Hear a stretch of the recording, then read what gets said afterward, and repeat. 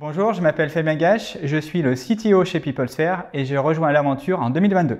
Nos produits sont basés sur des architectures event-driven et microservices.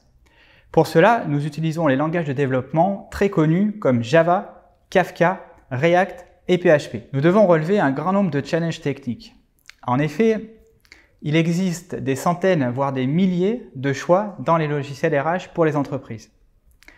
PeopleSphere permet d'interconnecter les logiciels RH de l'entreprise, d'unifier la data au sein du système d'information afin de l'exploiter sous forme d'un portail web ou d'une application mobile. Nos cycles de développement sont basés sur la méthodologie Scrum et des squads produits autonomes.